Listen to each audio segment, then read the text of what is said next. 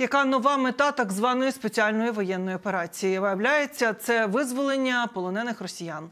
Чекаємо, коли до цього додасться повернення курсу рубля нижче сотні за долар чи відсутність дрон атак по Москва Сіті.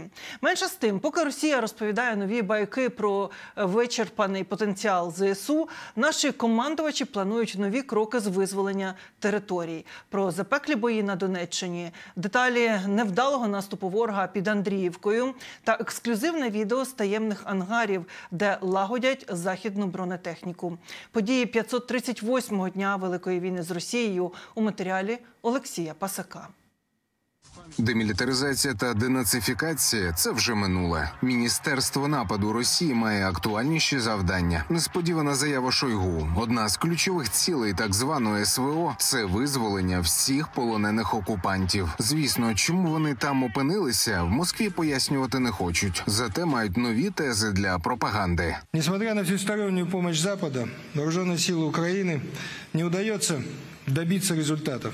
Предварительные итоги боевых действий показывают, что военный ресурс Украины почти исчерпан. І ось це майже вичерпані буде гарним порятунком для Кремля, щоб пояснити свої заяви через місяць другий. А рух сил оборони України, попри будь-які заяви окупантів, не припиняється. Під час поїздки на Запоріжжя президент Володимир Зеленський відвідував командні пункти та спілкувався з командувачами та бійцями одного із найгарячіших напрямків. Розмови про потреби та подальші кроки у визволенні наших територій, і вочевидь про нові неприємні новини для ворога, такі як спіткало росіян на пекельному курорті у Юріївці, що на Донеччині. Радник мера Маріуполя в етері п'ятого каналу повідомив: унаслідок точкових ударів згоріла і російська рембаза і казарми з особовим складом. За даними місцевих лікарень, кількість ліквідованих та поранених загарбників уже перевищила сотню. Окупанти звично волають про застосування Storm Shadow. У Росії завжди прилітає Storm Shadow.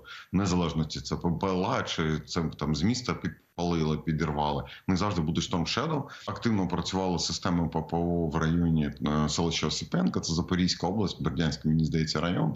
Тобто, якраз по ходу воно мало щось літити якраз на нашу Юрівку, і ну, мабуть, що не збило. Палало знатно. Дуже великий гриб був, тому що навіть там селище Орзув, це майже там 8 кілометрів.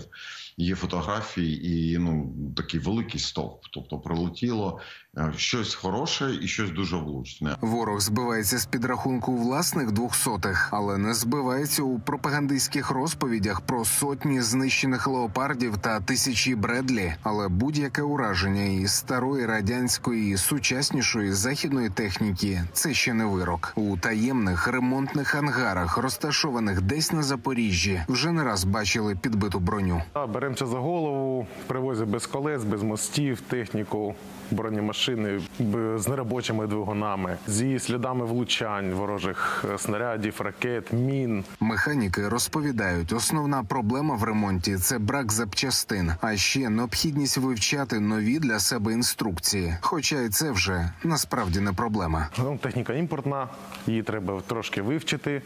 Е, Треба вивчити якусь матеріальну частину по моторам будь-яка література, бо ну, в нас, як в рембази, вона, звісно, є, але в деяких е, випадках десь щось можемо не знати просто-напросто. Тобто це впирається в спілкування з людьми, які про це нам можуть повідомити, знати якусь інформацію.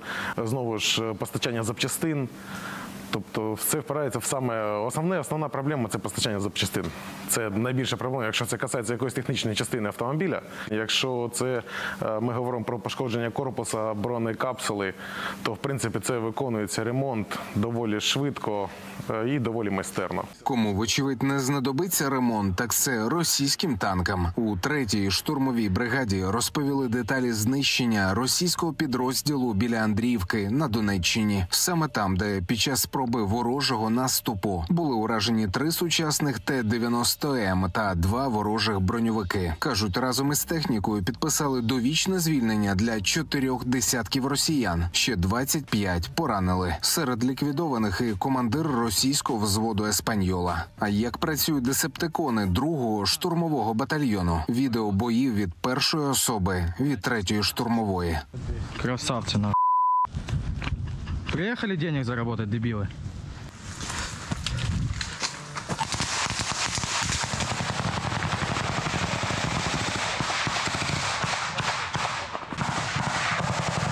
контакт.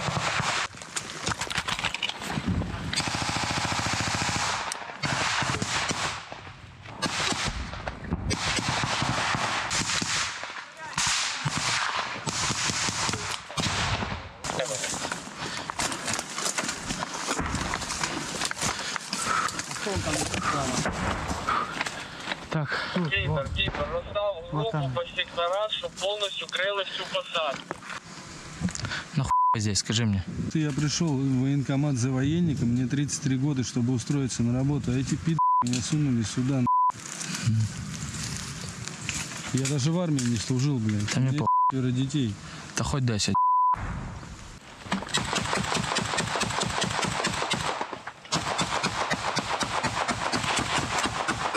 10.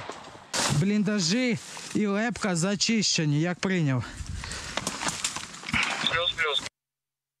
Кіпер передає, що бліндажі і лепка зачищені. Не лише бій, а й постійні тренування. На початку серпня бійці Азову провели перші тактичні навчання після повернення командира бригади легендарного захисника Азовсталі Дениса Редіса Прокопенка. Тепер оприлюднили відео вишколу. Азов опирається не на кількість, а на сильних, і ця сила гартується в бою.